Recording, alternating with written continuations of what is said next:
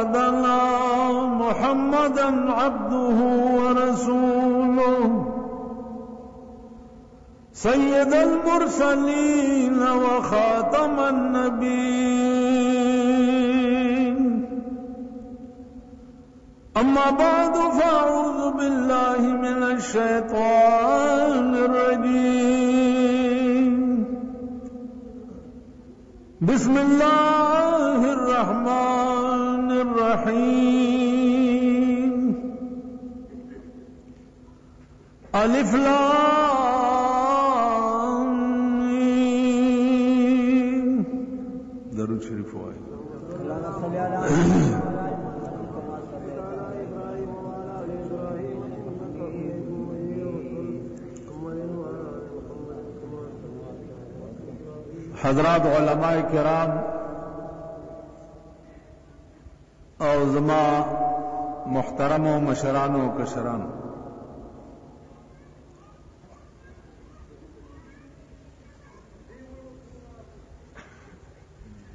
دا نن تقریب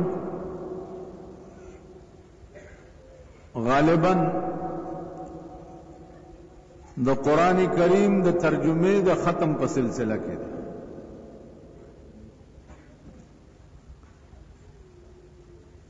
ما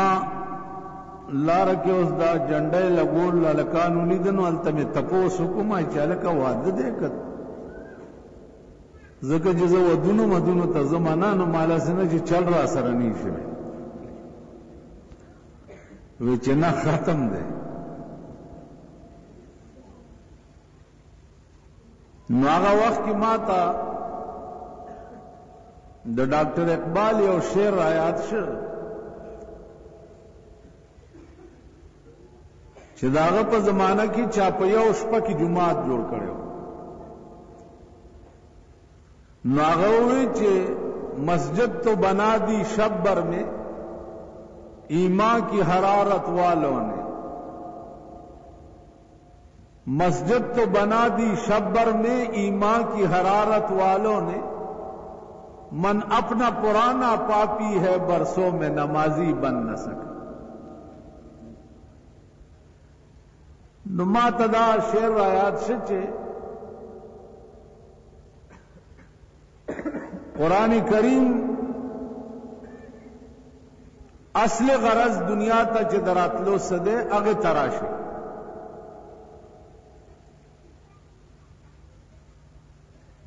دا جنډه وغیره لګول خو په خپل ځای کې ستاسو د نفس خواهشات وي او د نفس شوق وي خو اصل غرض د قران کریم چې څه دی الله دی وکي چې تاسو هغه غرض تراش عزیزانو یو سل سلور کتابونه د اسمان نه نازل شوي په یو سل څلور کتابونو کې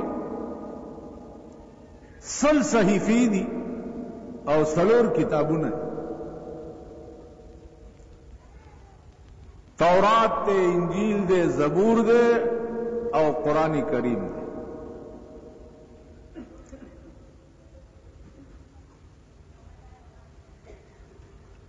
د یو سل سلور کتابونو سره چې کوم پیغمبران الله را لېږلي نو داغه پیغمبرانو مشن داو او په هغه کتابونو کې لیکلي دا و چې تاسو به د قوم تعلق دنیا سره دومره پرېږدئ چې وخت پې تېرېږي باقی تعلق د دې قوم چې دی نو هغه به د خدای سره جوړوي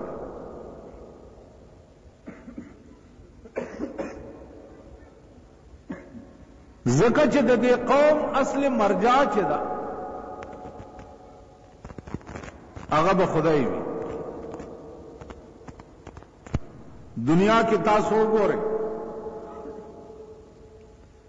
سړی دنیا کې چې اوسیږي پلار سره یی، مور سره یی، ښځې سره یی، لور سره یی، زوی سره یی، عزیزانو سره یی، کلي سره یی، رشتې سره یی وغیره وغیره خو چې ساعت وځي دا ټول تعلقات منقطع شي. ښځې سره رشته ختم شي، زوی سره رشته ختم شي، لور سره رشته ختم شي، عزیزانو سره رشته ختم شي، کلي وطن سره رشته ختم شي، د ده یو نوې رشته شروع شي د پروردګار عالم سره.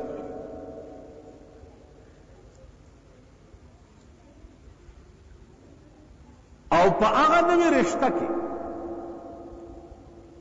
بیا ړومبنی تپوس چې د ده نه کېږي هغه دا نه وي چې تا سره دولت څومره او تا سره پیسې څومره او ستا ښځې څو وې ستا بچي څو دا نه ړومبنی تپوس چې کوم کېږي هغه دا کېږي چې ستا خدای څوک و؟ ته دنیا کې د چا بنده وې؟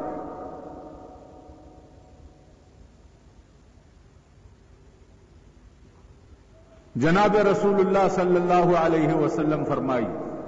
چې د دې سړي دوه حالت دی یا حالت دای چې دا نی او یا حالت دای چې دا بد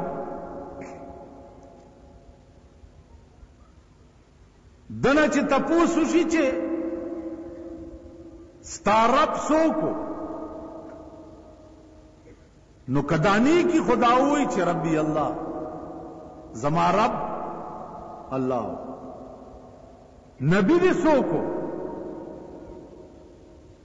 دی ووایي چې محمد رسول الله صلی الله ملایکې ورته وویل چې موږ ته وړاندې نه پته وه چې ته به همداسې وې. اوس په دې ځای کې نوم که نومة العروس اوده شه په دې ځای کې په شان د اوده کېدو د ړومبۍ شپې د ناوې. اوس که دا سړی بدی او من ربک ستا خدای څوک نو دی ورته وی ها ها لا ادري هاي هاي زه هو الله کپی نو نه پوي پیغمبر دي څوک ها ها لا ادري نه پیږي اوس ملائک ورته وایي چې او خبیثه مونږ ته وړاندې نه پته وه چې ته به همداسې وي. حدیث کې راځي چې ړومبنی ګزار د ملائکو داسې وي ړومبنی ګزار چې د دې سړي وای چغه مشرق او مغرب کې واورېدل شي الله دی امان راکی چی سمره ګزار تیزی نو دومره چغه تیزی اوس دا به سمره سخت ګزاری چی مشرق او مغرب کې وایو چغه واوریدې شي خدای دې مسل نو زما عزیزانو د یو لک څلیری زره پیغمبرانو راتلل او د ایک سو چار کتابونو دنیا ته راتلل غرض چه وو هغه صرف یو وو چه د دی قوم تعلق چه دی هغه د خدای سره جوړ کړی بل هم لا څوک شته په دنیا کې چې هغه سره تعلق جوړ کړی شي شته ګوره که ته مالدار سره تعلق جوړول غوښتل غواړې او په مال مین یې نو د الله نه لوی مالدار څوک شته؟ که ته ښایسته سره تعلق جوړول غواړې په حسن عاشق یې نو د الله نه ذات ښایسته څوک شته؟ ټیک شو که ته یو داسې ذات سره تعلق جوړول غواړې چې هغه کې به ټول عمر تغیر نه راځي نو دا الله واحد ذات دی چې هغه ټول عمر په یو حال وو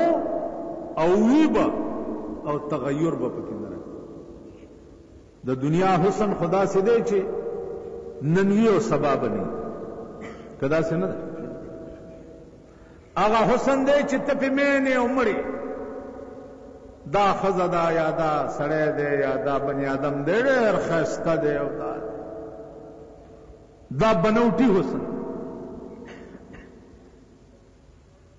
او د بنوټي حسن ته څومره تابعدار د دې تبلیغي جماعت امیر او مولانا یوسف رحمت الله علیه هغه یو تقریر کړو په دې عیدګاه کې نو هغه دا یو خبره نن نه په سن چونسټ کې دا تقریر کړ اوس مې یاد ده چې د دنیا د معشوقو حسن چې دی هغه بنوټي وي مثلا شونډې پران سرې کړي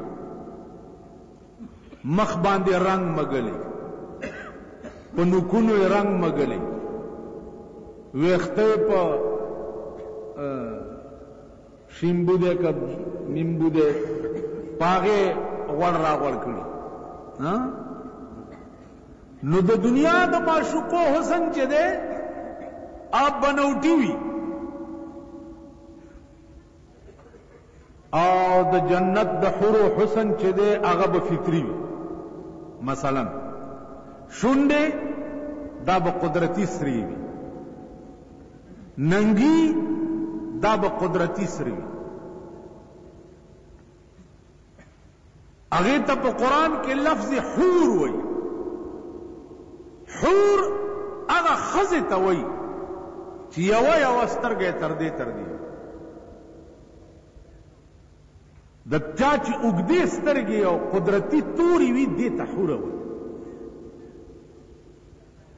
ویښته به یې الله دې راته وښيي نو یو واقع راځي چې د معراج په شپه رسول الله صلی الله علیه وسلم جنت ته بوتلی شو نو جبريل ورته خوده چې جی دا محل دی او دا بنگلی دی او دا دا دی او دا دا دی او دا دا دی په یو محل کې یو جنای ولاړه دا او هغه مسکای غوندې شو چې رسول الله صلی الله علیه وسلم جنت ته راغلی چا مسکۍ شوه نو د هغې د دې غاښونو هغه چمک چې دی په دې جنت پرېوتو. چې پرېوتو حضور خیال دا وکړو چې جوړ د خدای دیدار دی. جبرائیل ورته وې چې. ګبراوېږه مه نور څه نشته. هغه جینۍ مسکۍ شوه، د هغې د غاښونو دا تجلي په ټول جنت پرېوته نو ځکه رڼا شوه. تپوس یې ترې وکړو چې ته څوک یې؟ هغې ورته ویل، یا رسول الله! ستا امتیانو له چې کومې حورې خدای پیدا کړي دي، زه د هغه حورو خدمتګاره یم. الله! چې د کومو حورو د خدمتګارې د غاښونو چمک ټول جنت رڼا کوي، نو چې حورې به لا څنګه وي؟ تاسو به وایئ چې دا د ملیانو د ځان نه لکه قرآن کې راغلي دي، قرآن کې راغلي. چې د جنت دا نوکران به څنګه وي؟ دا نوکران، زموږ د ملک نوکران څنګه وي؟ د چا پوزه چیته وي، د چا غوږ نه وي، د چا خپه ګوډه وي، د چا یو سترګه نه وي، داسې نوکران خلکو ساتلي دي، خانانو مانانو که نه؟ خیال دې راغی؟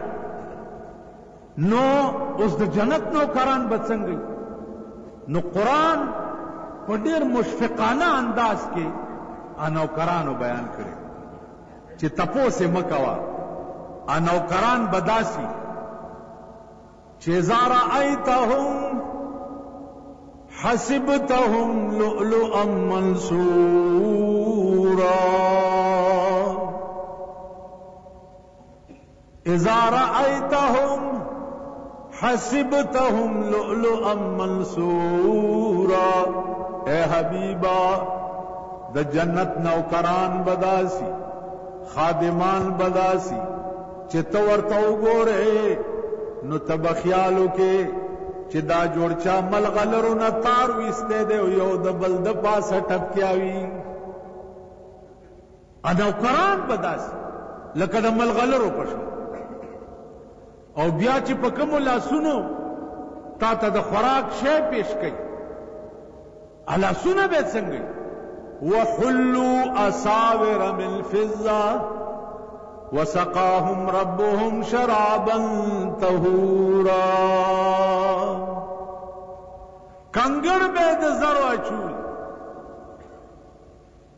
کنګڼ، جنت کې به سړي هم کالي اچوي، څنګه چې دنیا کې ښځې کالي اچوي، د زینت لپاره، داسې به په جنت کې ښځې هم کالي اچوي. کنګڼ به اچولي د زرو او په هغه لاسونو به تا ته د خوراک شی پېش کړي. که ستا کله دا شوق وشي چې یاره د دې نوکر د لاسه یې نه خورم، زه به داسې پروت یم،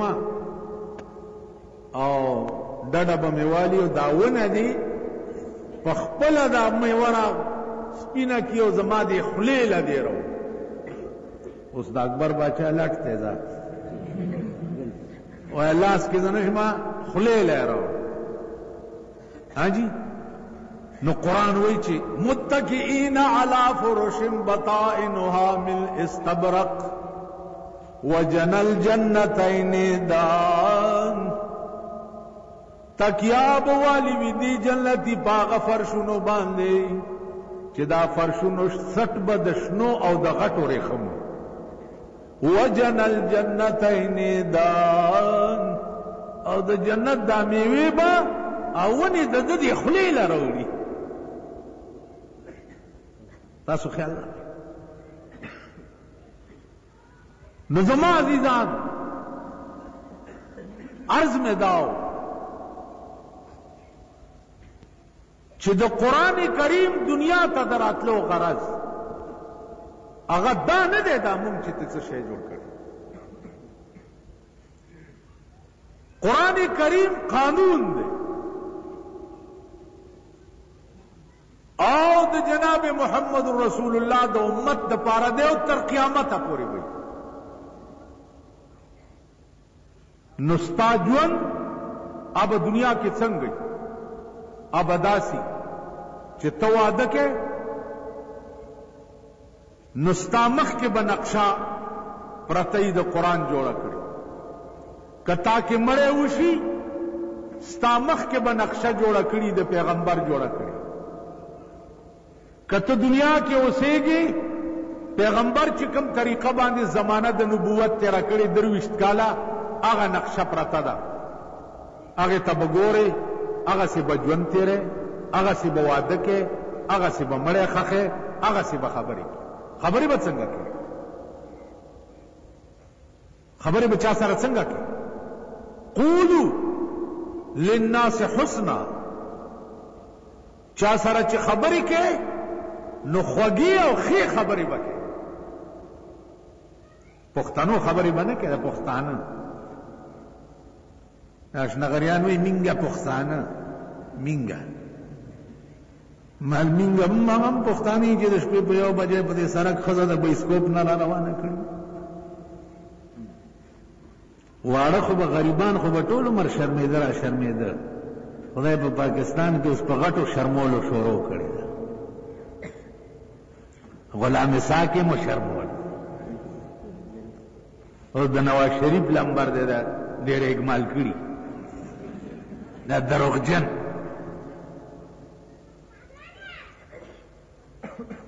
حیران به شي چې په درې څلوېښت کاله کې دې پاکستان حکومتونو دې قرآن سره کومې لوبې ونه او بیا یو لوی ظلم عزیزانو بل شو لوی ظلم هغه د اوقاف د وزیر په لاس باندې مولا خرید کړی شو ملا ملا خرید کړی شو او ملا ولا هیله جوړه کړه هیله جوړه کړه چې خای دې نشانه د مسلمان زموږ د ملک کې خیالو کې رامړې جوشه غسقات ګرځي را ګرځي دلته کوي هم دې څه وایي دا ټکی لږ واورئ ښه. تاسو هم په دې دوکه کې مونږ اچولي یئ چې روره په دغه ګرځندي باندې دا ستا مړی لاړ او د جنت توتی شو او ستا د مړي کور د هغه نیکه هم وران دی کور یې د پلار هم وران دې خوا وګوره ته چې د موره پیدا یې زما مخکې لوی شو سوا د آرامتوب نه دې بل کار نه دی کړی غل ته وې جوارګر ته وې ډاکو ته وې زناکار ته وې پلیت ته وې مردار ته وې جومات له چېرې نه راغلی او ته مړې راته په کټ کې پروت او زه دلته ناست یم او زه وایم چې له فرضو له واجبو له سنتو له مستحبو له منظوراتو بلکه جميع حقوق د باري تعالی چي لازم شوي وو په ذمه د دې حاضر متوفا باندي د حين تر بلوغه د وخته تر مرګه پوري خايګي د شانه د مسلمانه سره چي اکثر به ادا کړي او بعضي به ورځيني فوت شوي تا د خدای قرآن وي چي تا ته دې معلوم نه چي دا اکثر ادا کړي وي اظن المؤمنين خيرا خو په هغه وخت کي دی چي کوم تا ته معلوم نه چې ته زما مخکې د موره را پیدا شوې او زما مخکې لوی شوی، نو زه څنګه وایم چې ښایېږي د شانه د مسلمانه سره چې اکثر به یې ادا کړي او بعضې به ورځینې فوت شي. زما مخ ها یو سړی ما نه دی لیدلی چې نه یم خبر نو که هغه دپاره وایم چې هلکه ظن المؤمنین خیره نو دا جایز دي لیکن چې ما لیدلی او زه وایم چه پس په فدیه د هغه ما فاته کې دا کلام الله سره د جمعی مالیه تا چه غبن فاحشه او متاع قلیله ده په هیله د اسقاط سره ما تا ته در بخله او ما قبول کړه ما دا څه چل کیږي ماما وای په دې کې پینځو نه پینځه لکه جوړی شي نو بس دا هیله شو ته دا هیله ده کنه نو کته دا څه څه خدای بندګانو په دې خلک بخلی کی ستا ټول ژوند د قران نه باغی تیر دی ټول ژوند ته ټول عمر د قران نه باغی پاتې شوی د اسلام نه باغی پاتې شوی او زه د مرګ نه رسته ويم کله په کې بعضي دا واز وکړم چې دعا وکړي چې خدای ته واړه جنت ورکړي ایو مولا وی خدای ته واړه جنت ورکړي ما خدای قرآن ته وګوره ته جنت دي جاده دل ورکړي مونږ به کم خوځو یعنی کل بل خواته جنت دي کنه چې هغه ته واړه دې دته ورکوس مونږ به کم خوځو نو دیو جنا دي ځانو په غلطۍ کې مو مبتلا کې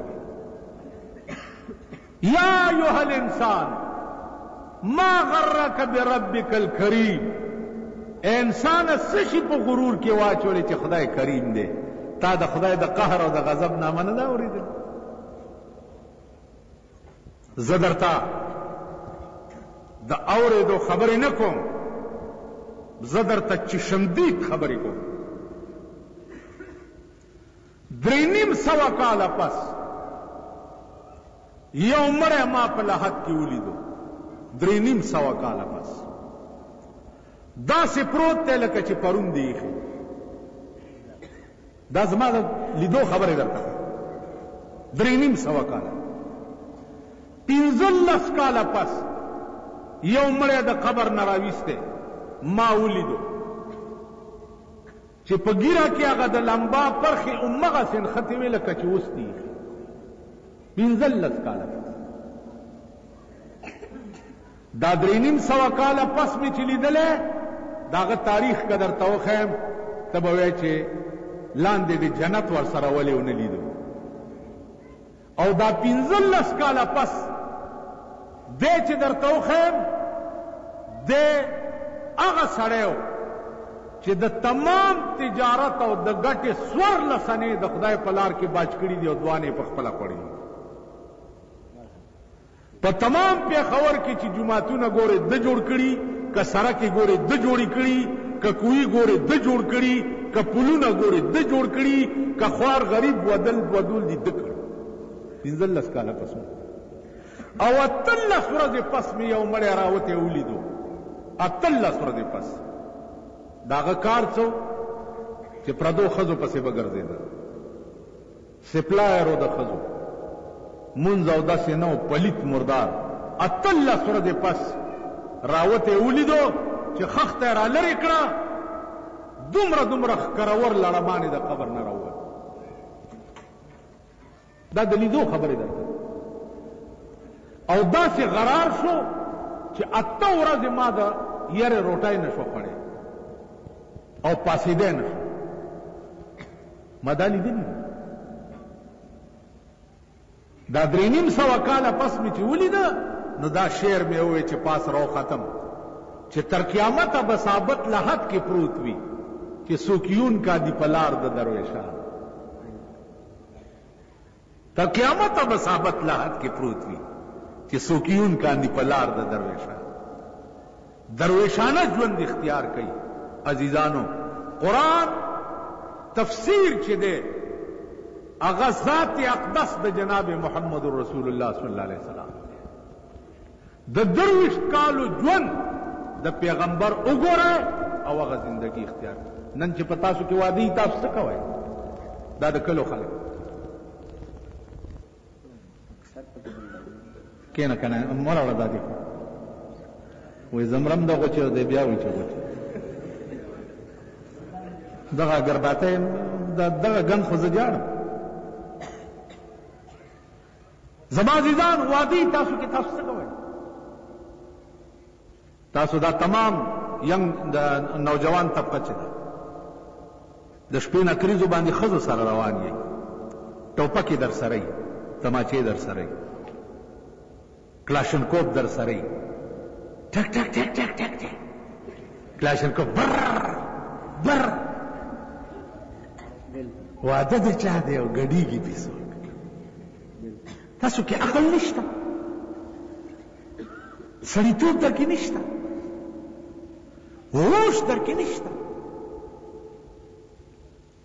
ظالم قومه یعنی تر مرګه پورې به تاسو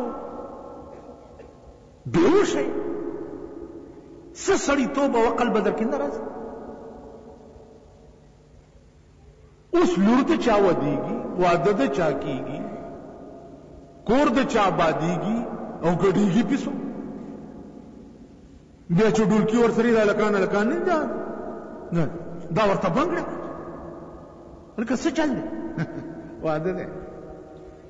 نالت په داسې واده شه نالت په هغه چا شه چې څوک د دې ودونو وریجې خوري په خوله کې دانې وخېږه چې څوک د دې ودونو وریجې خوري خوړلې خو دې نه دي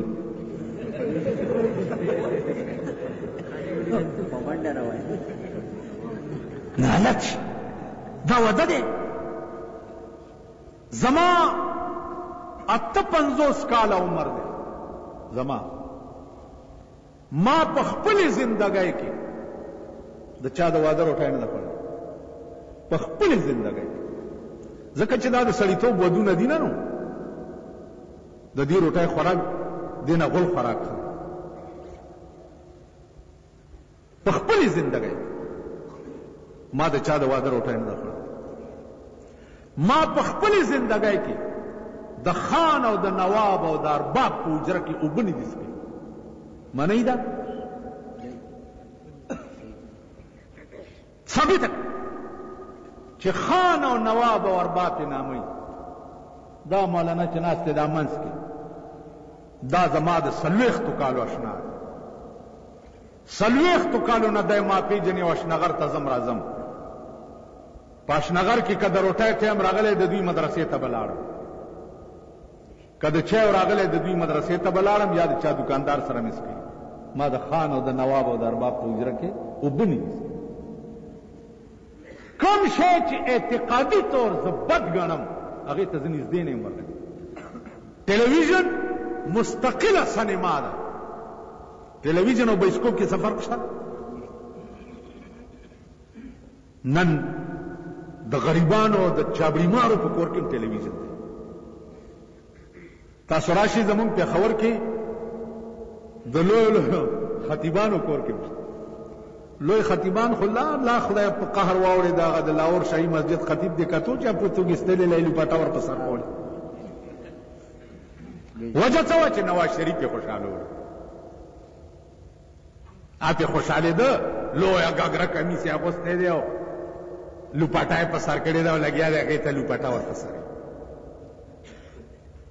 نن د دې خلک مونږ خو تباه شو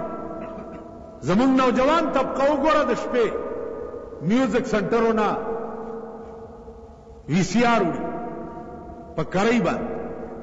بیا ټوله شپه د هلکان ورته زمونږ آینده نسل د